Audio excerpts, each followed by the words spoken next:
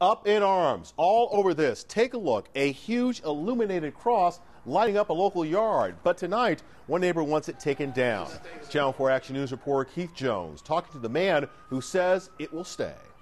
Here's what has neighbors talking. A giant 24-foot cross lit up until sometimes 12:30 at night. I talked to the property owner, and he tells me it's an act of faith. Neighbors, though, say it's intrusive and it's an act of revenge.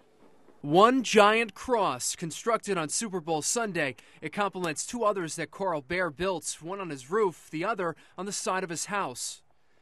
If you have a problem with that, I think you got a problem with the Lord. Next door neighbor Lisa Vera tends to disagree. In fact, she's contacted police and the borough. I'm not looking to be a bad neighbor. I believe in God. I, I believe in being Christian, but if you're truly Christian, then you would be supporting and respecting your neighborhood.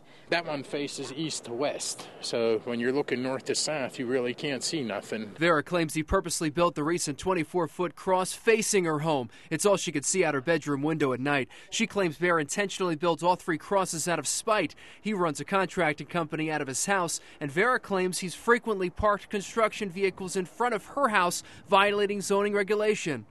It's it gets hard when you come down the street and you have dump trucks and bobcats and trailers. Here's the catch. Each time she's went to police of the borough to complain, the next day, she says Bear has constructed a cross, each one bigger than the last.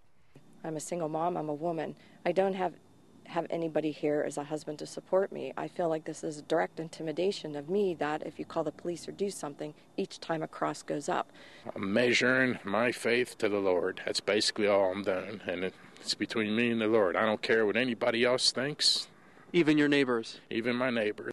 The borough tells me they're looking into the issue, but for now, the lights will stay on. In Baldwin Borough, Keith Jones, Channel 4 Action News. Recently, Baldwin Borough proposed an ordinance that may give them the ability to remove the lights on the cross. It aims to, quote, protect neighbors, the environment, and the night sky from nuisance glare and light trespass.